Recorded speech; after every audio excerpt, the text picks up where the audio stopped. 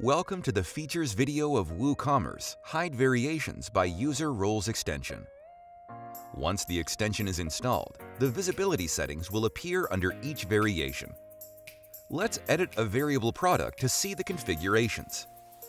Click on any variation to open settings. You can make variation unselectable or completely hide it from front end. Select the user roles for which you want to hide the variations. We will apply this to guest user roles here.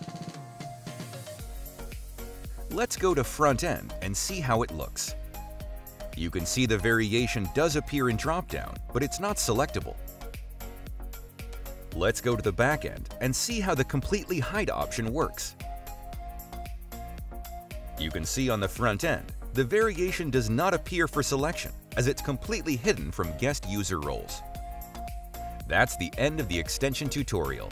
Thank you for watching.